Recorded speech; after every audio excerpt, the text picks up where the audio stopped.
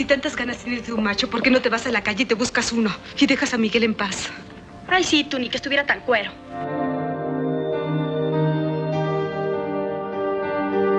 Mis amigas, mis amigos, bienvenidas, bienvenidos. Hoy vamos a platicar de una actriz que en los años 70 revolucionó a los jóvenes. A los jóvenes me refiero varones principalmente. Se trata de Maritza Olivares, una jovencita en esa época que realmente hizo películas que llamaron mucho la atención. Por ejemplo, La Avenida del Rey Olmos, Fe, Esperanza y Caridad y otras películas donde eran pues muy polémicas porque inclusive pues eh, en algunas salían totalmente desnudas. Eh, hubo otra cinta que también causó mucha expectación, que fue precisamente Tres Mujeres en la Hoguera con Pilar Pellicer y Maricruz Olivier. En fin, el caso es que mm, esta, esta joven, Maritza Olivares, eh, después de un cierto tiempo de estar en este tipo de películas, pues cambia radicalmente y se dedica a las telenovelas. Muchos de ustedes la conocen porque ha hecho telenovelas hasta recientemente. Vamos a conocer su historia.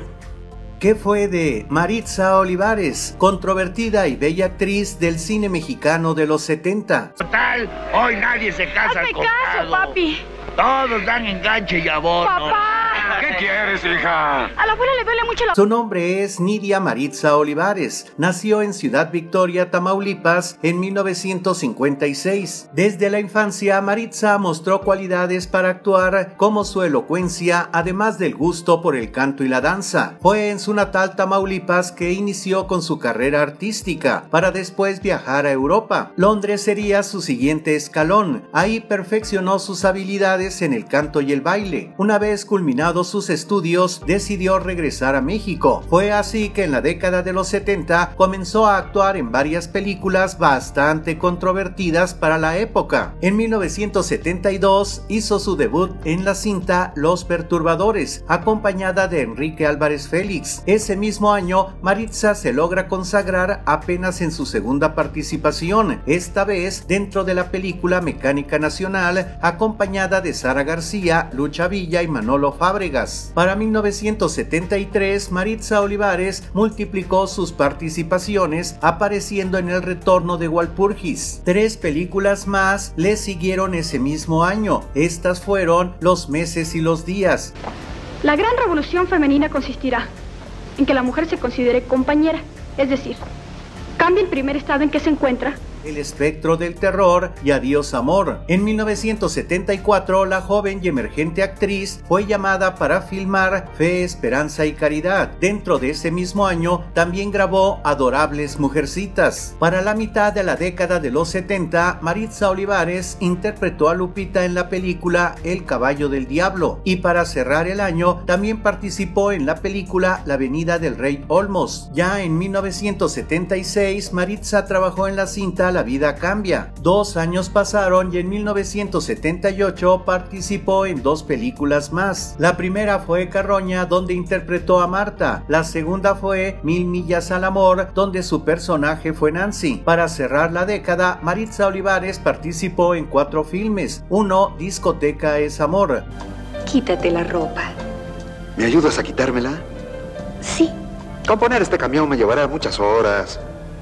Siempre esperé. Dos, Discotec fin de semana. Tres, Lágrimas Negras. En la cuarta cinta formó parte de un poderoso tridente actoral, conformado por Maricruz Olivier, Pilar Pellicer y por supuesto Maritza Olivares, participando juntas en Tres Mujeres en la Hoguera, considerada una de las películas más polémicas de la década. En 1980, junto a Valentín Trujillo, participó en la cinta Perro Callejero, además en la producción Policía de Frontera. Poco después fue llamada para trabajar en tres películas, Las Braceras, donde interpretó a Rosario, además de La Cabra y por último El Hogar que yo robé. Le siguieron dos participaciones más, la primera en 1983 en la película Amalia Batista, donde fue Jazmín. Para 1984 fue partícipe de Braceras y Mojadas. En 1985 Maritza Olivares fue convocada para ser parte del elenco de El Ángel Caído, telenovela producida por Televisa, donde también actuó Rebecca Jones. En la segunda mitad de la década de los 80, Maritza Olivares solo participó en dos producciones, Pobre Juventud en 1986, donde interpretó a Lupita, y Pobre Señorita Limantur en 1987. A principios de los 90, Maritza optó por abandonar el cine y dedicarse por completo al mundo de la televisión, estando activa desde 1990 hasta el 2015.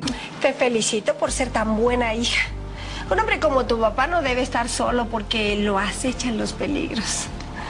Con permiso. Posteriormente trabajó en la cinta Cártel de la Droga. Enseguida fue parte de la cinta Mente Criminal. También trabajó en la famosa telenovela juvenil Muchachitas, donde obtuvo el papel de Jimena. Para 1992 le dio vida al personaje de Elena Santana en De Frente al Sol. Dos años después participó en Máxima Violencia. Alma Rebelde fue la última producción en la que actuó durante esta década. En el año 2002 fue parte del elenco de Entre el Amor y el Odio junto a Salvador Mejía. Los siguientes cuatro años, Maritza estuvo presente en la serie de antología Mujer Casos de la Vida Real, donde tuvo varias participaciones entre el 2002 y 2006, dándole vida a varios personajes. No obstante, durante este periodo, en el 2004, interpretó a Amalia Valladares en Corazones al Límite. Diez años después, en el 2014, Maritza Olivares fue llamada para ser Olga en La Malquerida. En el 2015 hizo su última aparición en la televisión siendo Nuria en Como dice el dicho. Actualmente vive y tiene 65 años de edad. Bien, si deseas conocer más de alguna famosa o famoso, escribe en los comentarios. Y si te parece interesante este video, dale me gusta, compártelo con tus amigos y suscríbete a este canal. Soy Marco Antonio Velázquez, hasta la próxima.